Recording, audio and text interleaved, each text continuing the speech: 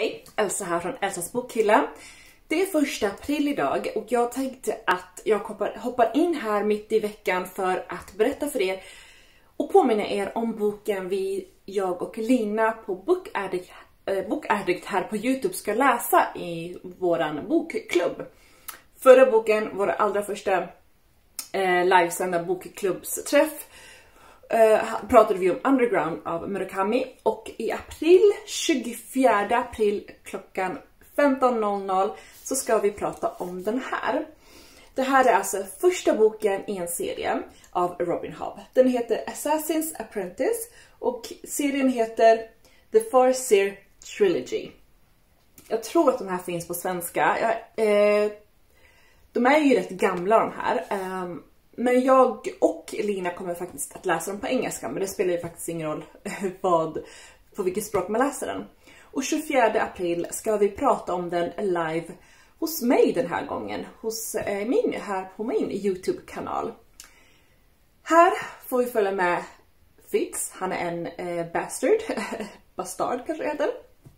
Eh, I det här eh, landet eh, är det, håller det på, det liksom ligger och det håller på att bli inbördeskrig. Eh, han Fitz då, eh, som är en bastard, eh, kommer in och får leva bland de här fina folket.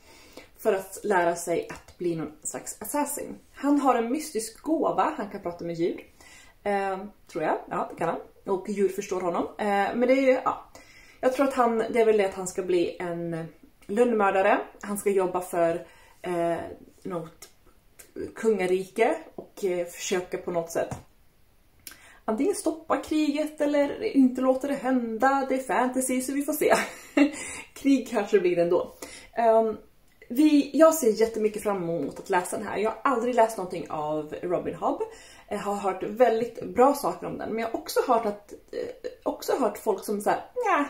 Så det, det, är ändå inte, den är inte tokhyllad. men jag ser väldigt fram emot den här.